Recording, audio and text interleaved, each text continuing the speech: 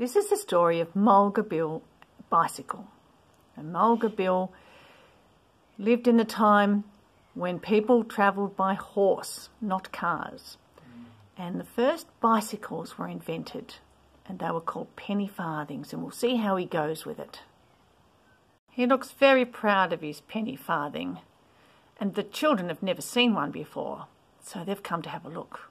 One wheel at the front's really big, and the wheel at the back's really small. So he read about it and he saw pictures of it and he showed his dog and he said, Oh, I'd really like one of those. 'Twas Mulga Bill from Eaglehawk that caught the cycling craze. He turned away the good old horse that served him many days. He dressed himself in cycling clothes, resplendent to be seen.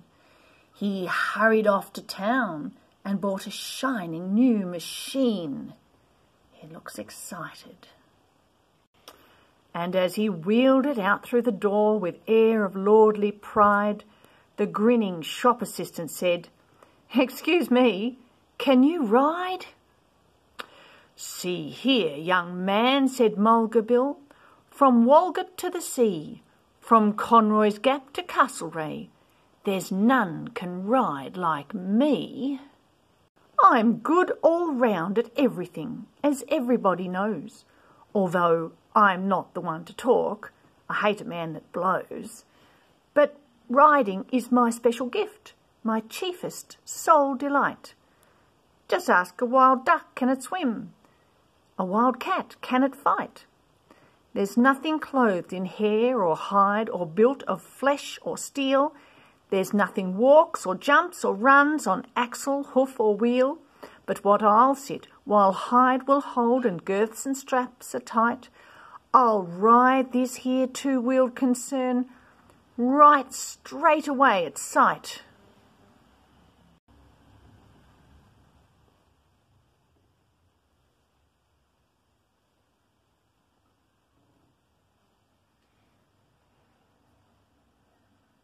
So he has to climb up on the back wheel and sit up on the seat and start to pedal. He's never done it before.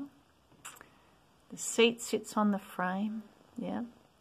And he feels, oh, he looks very proud of himself. And there's a boy up a tree that's looking and watching.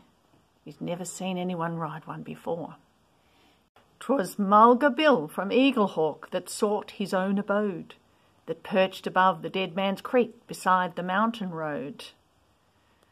So he's going to ride it home.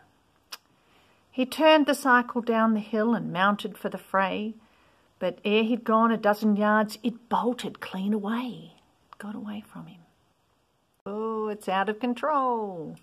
It left the track and through the trees just like a silver streak.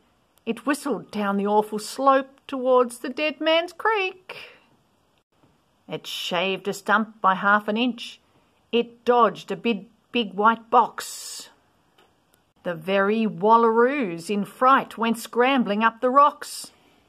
The wombats hiding in their caves dug deeper underground. But Mulga Bilgas, as white as chalk, sat tight to every bound. It struck a stone and gave a spring that cleared a fallen tree. Uh-oh. It raced beside a precipice as close as close can be.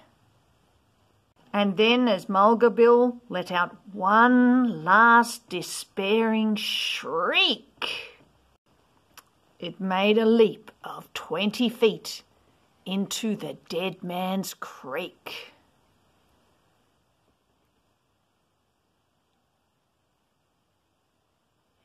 'Twas Mulga Bill from Eaglehawk that slowly swam ashore.